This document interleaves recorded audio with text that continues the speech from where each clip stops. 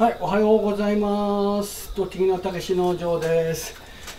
えー以前ね、えー、アマゾンさんの方で、えー購入しましたヒルストーンっていうメーカーのね、えー電動散布機です。えこれをね、え今から使っていこうと思うんですが、まず、え充電器のね、え解説をしたいと思います。よいしょ。よっこいしょ。はい。で、充電端子なんですが、えー本体の下の方に、えーあります。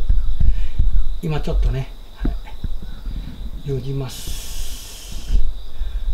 よっこいしょ。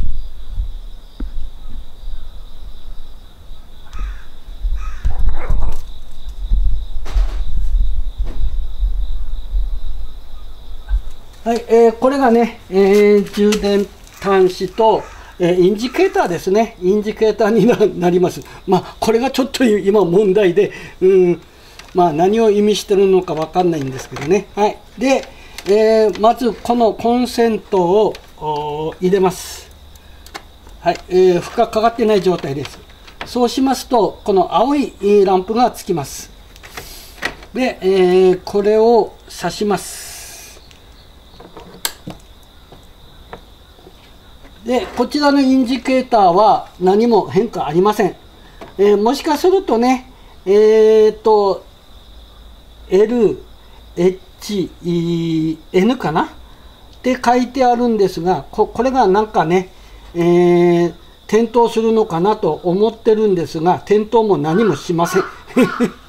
で、あのー最初のテストでね、まあ一応、まあ、モーターが回るのはあ確認しましたので、えーまあ、あ電池はある程度入ってんのかなというふうに考えております。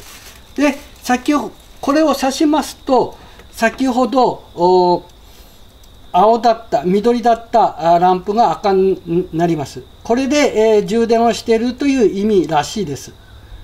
でですからこれがまた緑になるともしかすると自動的に止まるのかもしれないです。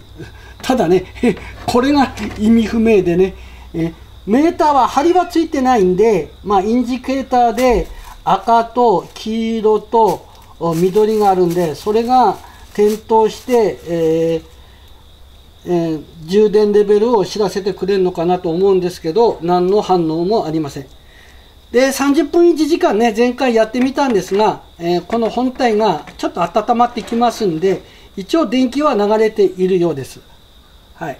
そういうことでねえーとこの充電器意味不明充電はできてるようなんですがちょっとこのインジケーターの意味がわからないしこれの意味もいまいち分かってないです。まあ赤になってるんで一応充電はしてるようです。はい、そういうことでね、えー充電インジケーターとか充電器の説明でした。えー動画の方はね、これで一回止めます。